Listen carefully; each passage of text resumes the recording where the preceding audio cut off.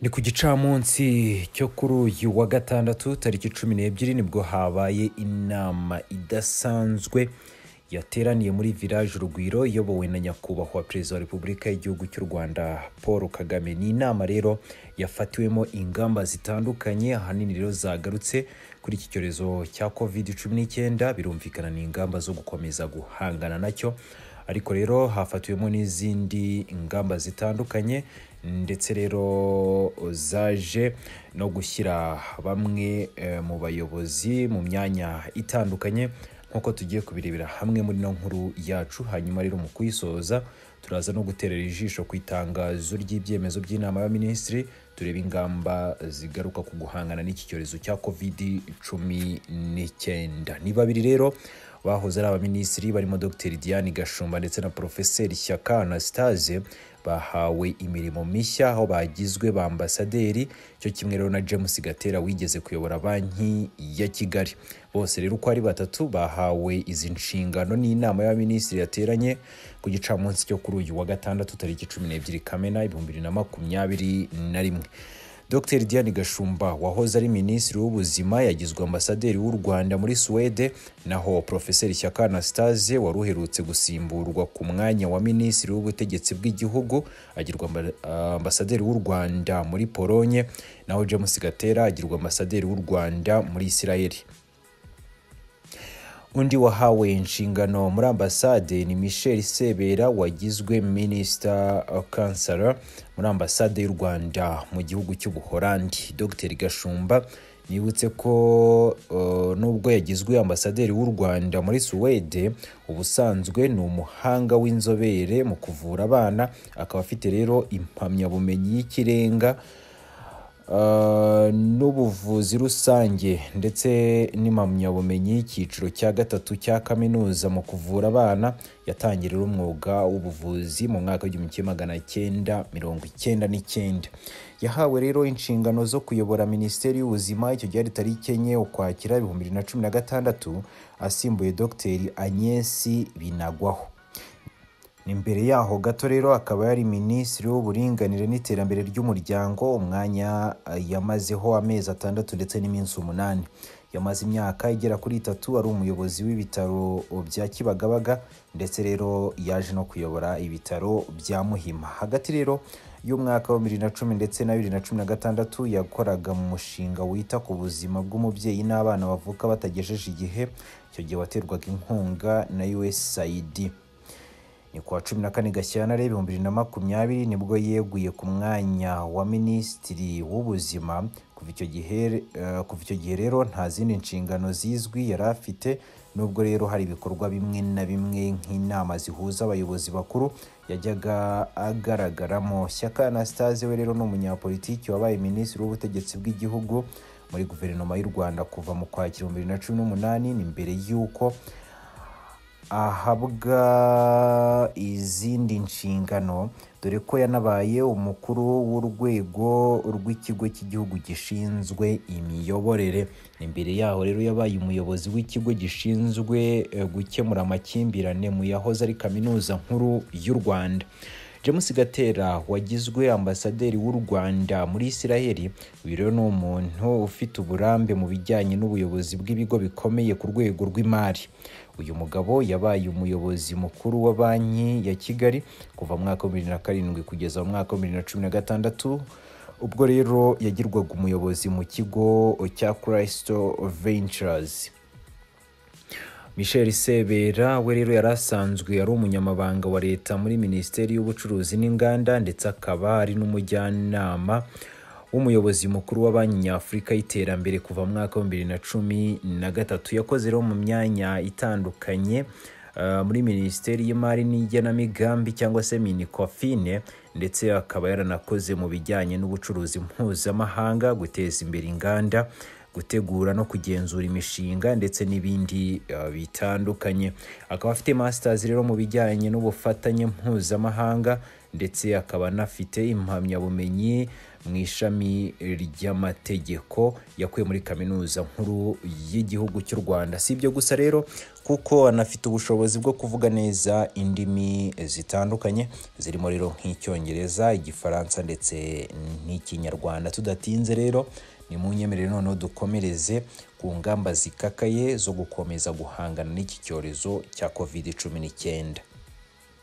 Inama minisitiri yongeye gusuzuma ingamba uh, zafashwe zo gukumira ikwirakwira ry'icyorezo cya covid cumi n'icyenda. Ikaba yemeje ko rero ingamba zikurikira zigomba gushyirwa mu bikorwa mu gihugu hose guhera tariki cumi n'enye kamena bibiri na makumyabiri na rimwe kandi zizongera kuvugururwa nyuma y'ibyumweru bibiri hashingiwe ku isesengura ry'amasezi. Ku isesengura ry'inzego z'ubuzima. Ingendo rero zirabujijwe guhera ku isaha ya saa tatu z'ijoro kugeza ku isaha ya saa kumi z'igitondo. Ibikorwa byose byemerewe gukomeza bizajya bifunga ku isaha ya saa mbiri z'ijoro. Ingendo hagati y'umujyi wa kigali n'intara ndetse no hagati y'uturere dutandukanye tw'igihugu zizakomeza. Abagenzi bose rero binjira mu gihugu bakoresheje ikibuga cy'indege mpuzamahanga cya kigali bagomba kuba bafite ibyemezo by'uko bipimishije covid cumi n'icyenda cyangwa se pcr test amasaha mirongo irindwi n'abiri mbere y'uko bahaguruka. Kandi bakubahiriza amabwiriza y'inzego z'ubuzima yo kwirinda covid cumi n'icyenda. Imodoka zitwara abantu mu buryo bwa rusange cyangwa se bisi zemerewe gutwara abantu batarenze mirongo itanu ku ijana by'umubare w'abantu zemerewe gutwara hanyuma rero abatwara bisi bakaba basabwa kugenzura ko abagenzi bahana intera kandi bagatwara bambaye udupfukamunwa gusa. Moto n'amagare rero byemerewe gukomeza gutwara abagenzi abatwara moto n'amagare bakaba basabwa kubahiriza amabwiriza y'isuku muri rusange. Inama zikorwa imbonankubone cyangwa se physical meetings zizakomeza hanyuma rero umubare w'abitabira inama ntugomba kurenga mirongo itatu ku ijana by'ubushobozi bwo kwakira abantu. Bw'aho bateranira abitabira inama bakaba basabwa kwipimisha covid cumi n'icyenda mu gihe umubare wabo urenze makumyabiri. Ibikorwa by'inzego za leta bizakomeza ariko buri rwego rukaba rusabwa gukoresha abakozi b'ingenzi batarenze mirongo itatu ku ijana by'abakozi bose kandi abandi bakozi. Bakaba bagomba gukorera mu ngo zabo ariko nanone bakagenda basimburana. Iri tangazo rikomeza rivuga ko ibikorwa by'inzego z'abikorera ko bizakomeza ariko buri rwego rukaba rusabwa gukoresha abakozi b'ingenzi batarenze mirongo itanu ku ijana by'abakozi bose hanyuma abandi bakozi bagakorera mu rugo ariko n'ubundi bakagenda basimburana. Amasoko n'amaduka cyangwa se markets and malls azakomeza gukora ariko bajye basimburana umubare utarenze mirongo itanu w'abacuruzi niwo wemerewe kuyakoreramo.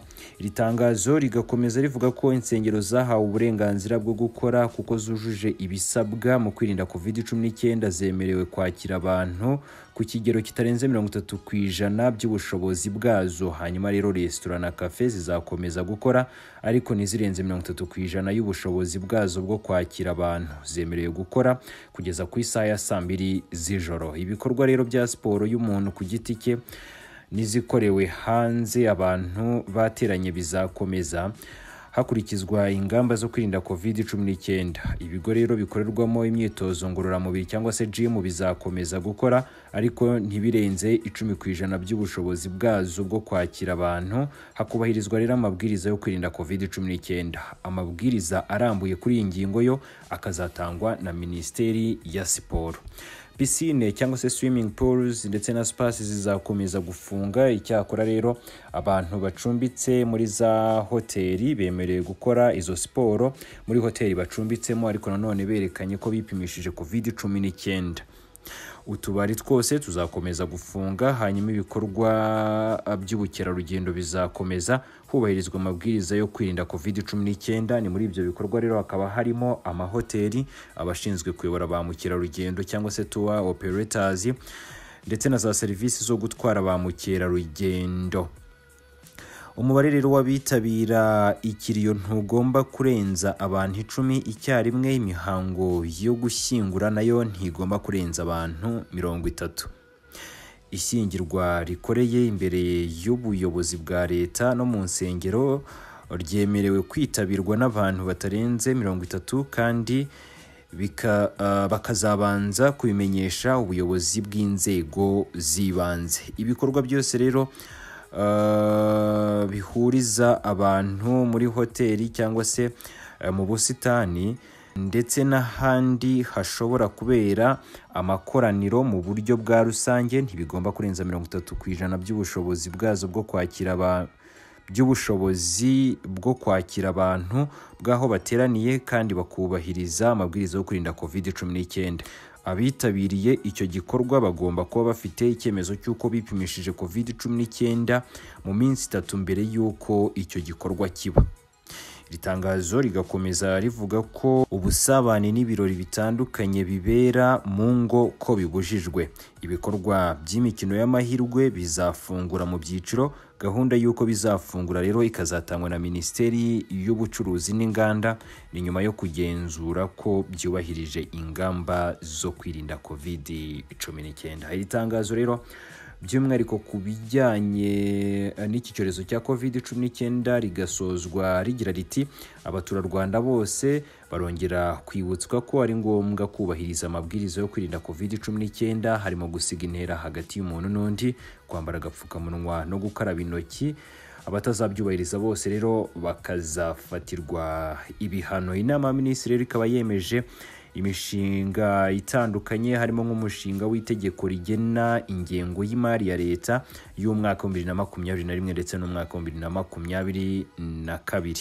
Iri tangazo rero mu zindi mpinduka abanyarwanda benshi bari bategereje ni uko porofeseri shyaka anastase yongeye guhabwa akazi kuko yagizwe ambasaderi w'u rwanda muri repubulika ya polonye nk'uko iri tangazo ribigaragaza. Iri tangazo rero rikaba ryashyizweho umukono na minisitiri w'intebe dr. Ngirente eduward ngayo nguko rero ni byinshi bindi byaganiriweho turaza gukomeza tubagezaho mu makuru yacu ataha. Tukaba rero tubararitse kutajya kure kugira ngo tuze na byo kubibagezaho gatanu kuri gatanu.